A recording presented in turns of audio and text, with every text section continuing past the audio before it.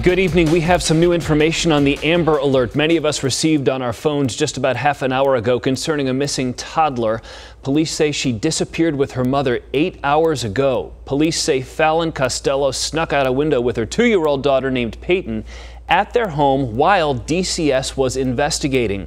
They were last seen around noon today near Greenway and Reems in the Surprise area, getting into a white Dodge Caravan that has a sticker in the front window there.